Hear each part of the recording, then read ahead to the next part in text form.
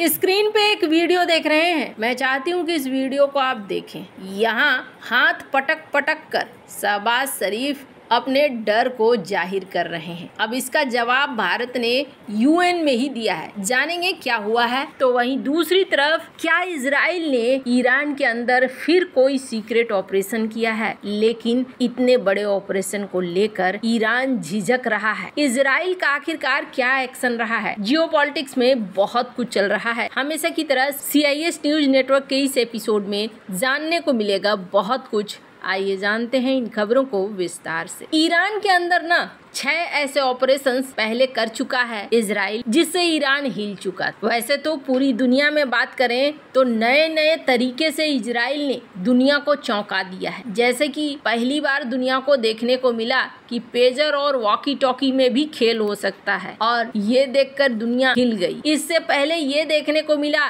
कि ईरान के अंदर ही हमास के हानिया को इन्होंने निशाना बना लिया। ये भी बहुत बड़ी बात है। इसके बाद एक चौंकाने वाला देखने को मिला था कि किस तरीके से ईरान के न्यूक्लियर साइट पर हमला किया गया और इसके बाद देखने को मिला था कैसे ईरान के साइंटिस्ट को एकदम सटीक तरीके से मारा गया और कहा जाता है कि इसमें एआई का इस्तेमाल किया गया था। इसके अलावा साइबर अटैक्स की तो भरमार है, पर अभी एक और हमला हुआ है, ऐसा कहा जा रहा है। और इस हमले को ईरान गुपचुप संभाल रहा है, कुछ बोल नहीं रहा है, बाहर नहीं आने दे रहा है। इसराइल ने हालिया दिनों में लगातार लेबनान और गाजा में ऑपरेशंस किए हैं। इसकी चर्चा दुनिया करती है, लेकिन इन ऑपरेशंस में जहाँ इसराइल ने हिजबुल्ला और हमास के कई कमांडर्स मारे हैं, एक के बाद एक भीषण हमले किए हैं। इसराइल ने ईरान को लगातार चोट दी है। तो वहीं एक सीक्रेट ऑपरेशन में उसने कुछ आईआरजीसी सदस्यों की हत्या करते हुए सीक्रेट डॉक्यूमेंट भी तेहरान से चोरी कर लिए हैं। इन सब के बावजूद ईरान इस बात पर फैसला नहीं कर पा रहा है कि उसे इसराइल का जवाब कैसे देना है। कहा जा रहा है कि ईरान में एक धड़ा अपनी सरकार से खुश नहीं है। इसकी वजह यह है कि इसराइल लेबनान में हमले करते हुए हिजबुल्ला को निशाना बना रहा है, जो ईरान का करीबी और पुराना सहयोगी है। इसके बावजूद ईरान चुप है। ईरानी राष्ट्रपति पेजस्कियान ने भी यूएन में कहा कि उनका देश सभी के लिए शांति चाहता है, किसी से भी संघर्ष का इरादा नहीं रखता है। रिपोर्ट में कहा जाता है कि ईरानी अधिकारी और इस्लामिक रिवोल्यूशनरी गार्ड कॉप्स के कमांडर ये कह रहे हैं कि ईरानी सरकार अपने प्रमुख सहयोगी हमारे हमास और हिजबुल्ला के खिलाफ अब जो है कुछ भी बोलने से बच रही है। बोलने से क्यों बच रही है कि बार बार आप बोलते हो और कुछ होता नहीं है। बात तो सही है। पिछली बार उसके पिछली बार बोला,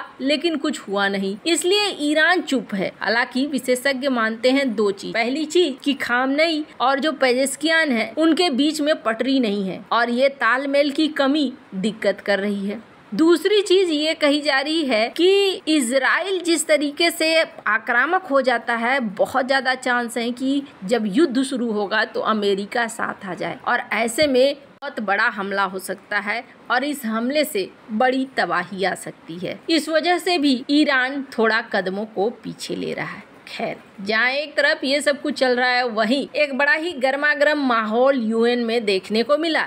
लेकिन शायद पाकिस्तान ने ये नहीं सोचा था कि भारत एकदम ठंडे ठंडे पानी से ठंडा कर देगा। पहले तो आप देखिए इनको, कौन है ये? शहबाज शरीफ। शहबाज शरीफ ने यहाँ अपना भाषण शुरू किया और ये तो पक्का था कि शहबाज शरीफ कश्मीर को लेकर बोलेंगे। लेकिन इस बार इन्होंने कुछ अलग ही बोल दिया। एक ऐसा डर जो निकल कर सामने आया। मैं चाहती हूँ कि इस वीडियो को आप देखें। Similarly like the people of Palestine the people of Jammu and Kashmir too have struggled for a century for their freedom and right to self determination. Instead of moving towards peace, India has resiled from its commitments to implement the Security Council resolutions on Jammu and Kashmir. These resolutions mandate a plebiscite to enable the people of Jammu and Kashmir to exercise their fundamental right to self determination. Ladies and gentlemen, since the 5th of August 2019, India has initiated unilateral illegal steps to impose what its leaders ominously call a final solution for Jammu and Kashmir.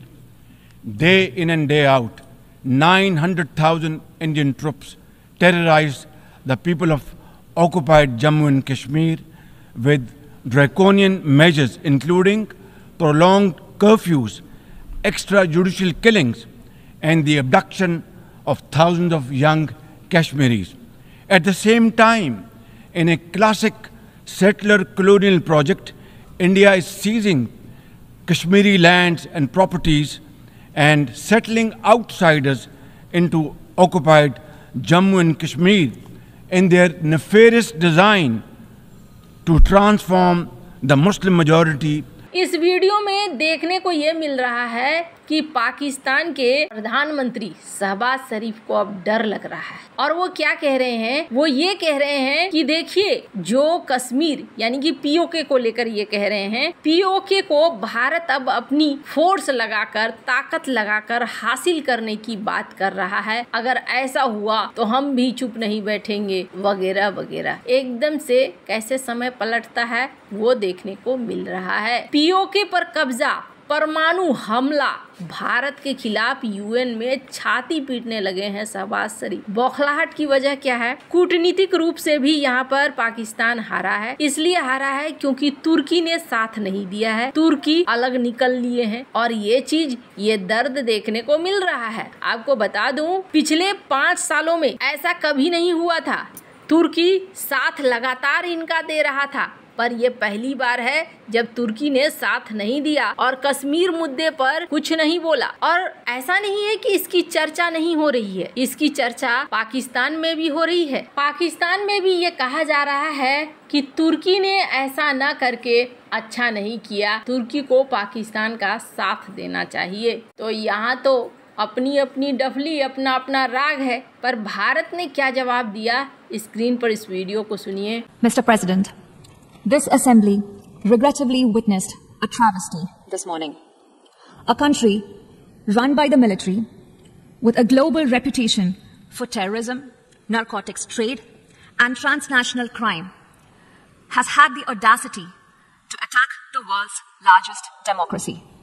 I speak about the reference to India in the speech Bharat ने कहा, कौन बोल रहा है? वो बोल रहा है, जो खुद आतंकवाद की फैक्ट्री है, कौन हमें समझा रहा है? हमारे ही इलाके पर कब्जा करके बैठा हुआ है, वो समझा रहा है। कौन समझा रहा है हमें? वो समझा रहा है जिसने हमारे देश के अंदर हमला किया, जिसने मुंबई में हमला किया, जिसने 1971 में नरसंहार किया। क्या उसे दुनिया के सबसे बड़े लोकतंत्र पर यह सब कुछ बोलना शोभा देता है। उन्होंने कहा जिस देश के इतिहास में चुनावों में गड़बड़ी है, वो भारत के लोकतंत्र में राजनीतिक विकल्प की बात करता है। इन्होंने बहुत सारी बातें यहाँ पर उड़ेल दी। वैसे आपको बता दूँ, पाकिस्तान को इस बार झटका लगा है, क्योंकि इस बार अब धीरे धीरे देश ने तो बोलना बंद कर ही दिया था। तुर्की भी साथ छोड़ देगा, ये उम्मीद इनको नहीं थी। वैसे आपको क्या लगता है, इन सब मामले में आपकी क्या राय है? कमेंट कर ज़रूर बताएँ। जल्द मिलते हैं अगले वीडियो में, नई खबर के साथ।